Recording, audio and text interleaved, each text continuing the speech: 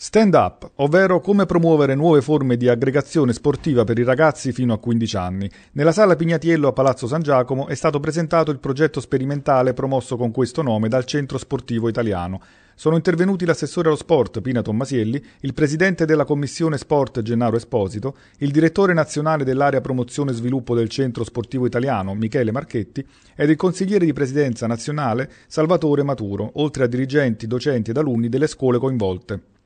Il progetto si svolge in 11 città capofila e coinvolgerà in 12 mesi di attività oltre 40 scuole ed almeno 2200 alunni, in un percorso sportivo innovativo che prevede un torneo, 9 sport ed un raduno nazionale a Lignano Sabbiadoro. In rappresentanza dell'area di Napoli parteciperanno la Scuola Media Marino Guarano di Melito, la Scuola Media Ada Negri di Villaricca, l'Istituto Comprensivo Antonio Custra di Cercola e l'Istituto Comprensivo San Giovanni Bosco di Napoli. Sappiamo che la scuola vive enormi difficoltà anche economiche e quindi tutte queste forze sociali, tutte queste associazioni che riescono ad essere di complemento e di supplemento all'attività scolastica, quindi prendendosi questi ragazzi dalle classi e portandoli fuori sui campi sportivi o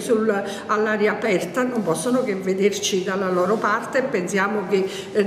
per quanto possibile l'istituzione starà vicino.